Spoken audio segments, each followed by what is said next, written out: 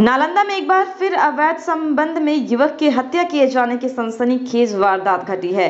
मृतक की पहचान सेखोपुरसराय थाना क्षेत्र के अंबारी गाँव निवासी बुंदेल रविदास का 18 वर्षीय पुत्र विक्रम कुमार है। परिजन गाँव के ही एक युवक पर हत्या कर शव को नदी में फेंकने का आरोप लगा रहे हैं।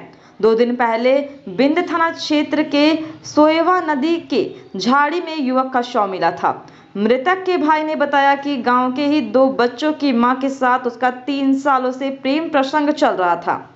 गाँव के ही सोनू और उसके परिवार वालों ने उसके भाई को 31 जुलाई को घर से बुलाकर उसकी हत्या कर शव को सोईबा नदी में फेंक दिया था। वह घर वालों को राजगीर घूमने जाने की बात कहकर निकला था। गौरतलब है कि 30 जुलाई को सोनू ने अपनी पत्नी की शादी विक्रम से घर में बुलाकर कर दी थी। इसके बाद 31 जुलाई को सोनू ने विक्रम को फ़ोन किया, जिसका एक ऑडियो भी वायरल हो रहा है। सदर डीएसपी डॉक्टर शिबली नोमानी ने बताया कि घटना के पीछे प्रथम दृष्टिया मामला प्रेम प्रसंग का प्रतीत हो रहा है। फ़िलहाल पुलिस पूरे मामले की छानबीन में जुट गई है। प्रेम प्रसंग को लेकर हत्या की बात बताई जा रही है। बिंद थाना क्षेत्र में एक अज्ञात शव बरामद हुआ था।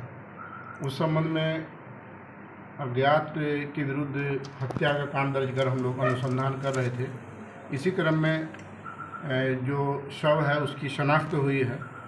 जो हमारी गाँव शेखुपुर सराय शेखपुरा ज़िले में है वहाँ के जो मृतक हैं उनके परिजन आए उन्होंने आइडेंटिफाई किया कि विक्रम कुमार हैं जो वहाँ से 31 तारीख को मेला देखने के बहाने निकले थे और उनका शव का पहचान हुआ है। जिसका हम लोग उनके परिजन से पूछताछ कर रहे हैं। सर अवैध संबंध की बात आई है सर। परिजन का कहना है लेकिन सारे बिंदुओं पे अभी हम लोग अनुसंधान प्रारंभ किए। सर तो हत्या के पीछे वजह क्या रहा होगा सर? इन्वेस्टिगेशन के पार्ट हैं जैसा कह रहा कि कुछ प्रेम प्रसंग इत्यादि के भी मामले की बात आ रही है लेकिन अनुसंधान में सारी बिंदुओं को स्पष्ट किया जाएगा। सर ये भी बताया जा रहा है कि प्रेमिका से पति शादी करा दिया था जैसा परिवार वालों का कहना है सर आपको क्या? परिजन से आज हम लोग मिले हैं परिजन अभी आए हैं शव का पहचान हुआ है। अभी अनुसंधान हम लोग प्रारंभ किए हत्या किस प्रकार की है सर?